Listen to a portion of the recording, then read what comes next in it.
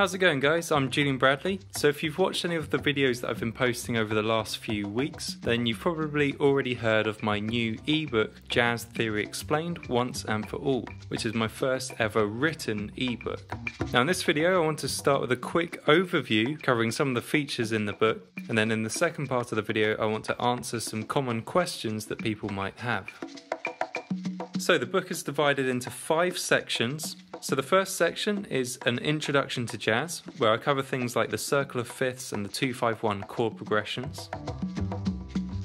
The second section we have is chords, where I explain the different types of seventh chord. I show you quick ways to find your way to each type of chord voicing. Chord extensions, so finding the 9th, 11th, and 13th of any type of chord.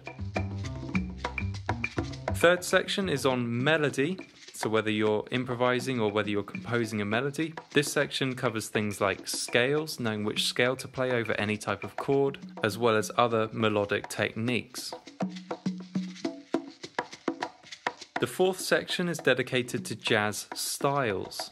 We have bossa nova piano style, Cuban salsa piano style, R&B piano style, as well as how to write walking bass lines. Mm. And the final section of the book is advanced techniques, which is things like reharmonization. I look at melodic embellishment, and we end the book with just some of my personal favorite jazz piano sounds.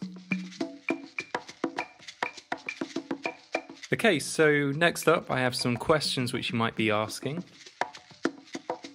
So, originally, my aim was to make this book for all musicians, not just piano players. However, some sections of the book are only going to be relevant to piano players. For example, the chapters on chord voicings are only going to be relevant to piano players, they're not going to be relevant to guitarists, bass players, etc. Now, there are some prerequisites for this book. However, I do cover these prerequisites before the book begins. So, before the book begins, I do cover the essential parts of reading music, I also cover scale degrees and intervals, so you'll need to understand the difference between the major third and the minor third, the whole step and the half step, the fourth, the fifth, the tritone.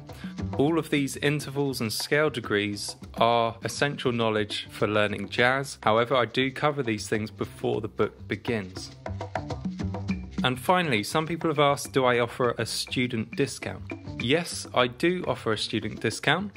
So, whether you're at high school or whether you're at college or postgrad, if you're a student, you can email me using your college email address. So, the email address that ends with .edu or .ac.uk, and I'll reply with a discount code which you can use for this book. And you don't have to be a music student. So, I hope that's answered some of the questions that you might have. If you have any more questions, you can email me at mail at jazzherobooks.com. And if you'd like to get your own copy of Jazz Theory Explained once and for all, you can visit jazzherobooks.com. It's an ebook, which means it's a digital download. It fits perfectly to an iPad or tablet computer. You can just glide through the pages easily. All the links are set up, so you just click on them, it'll open a video, or it will jump to another section in the book and I offer a 90 day money back guarantee. So, if for any reason the book's not for you, that's absolutely fine. I offer a 90 day money back guarantee. So, thank you very much for watching. Stay tuned over the next few weeks. I'm going to be posting at least one video a week. My name's Julian Bradley. Thank you for watching.